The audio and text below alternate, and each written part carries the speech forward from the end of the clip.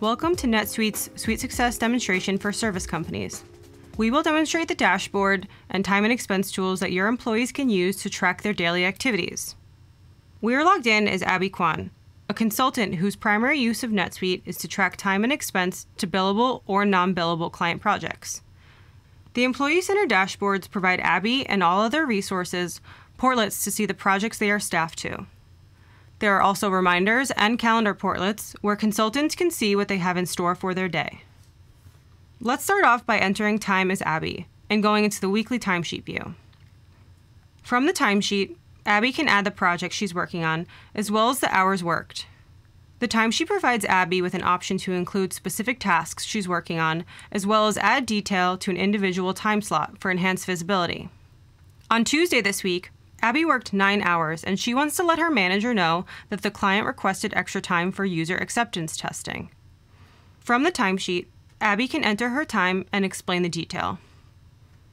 Once saved and submitted, the timesheet is automatically pushed through an approval workflow to Abby's manager's dashboard for approval.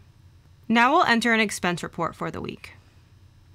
In this expense report, Abby needs to enter airfare for a customer meeting. She'll then further tag this to a project then enter the amount, and add a memo. Resources can attach receipts to all expense reports from here as well. For international travel, NetSuite allows Abby and other resources to use this multi-currency option.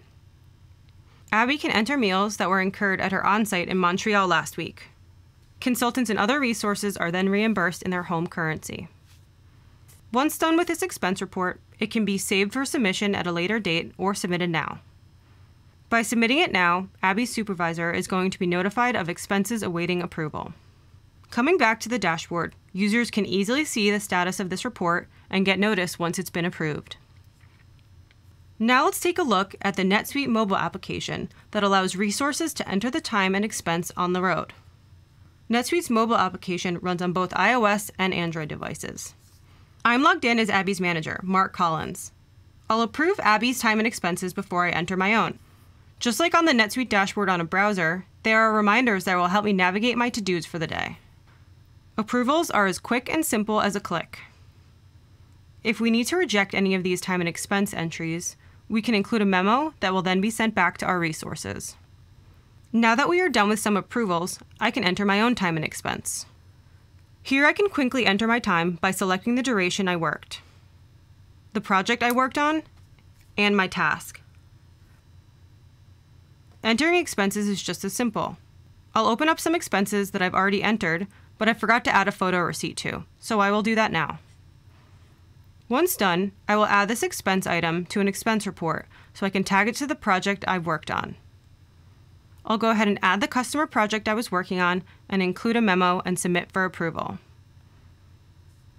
My home dashboard now displays all items I was able to complete while on the road. Thank you for watching this demonstration. If you have any questions, please reach out to your account manager.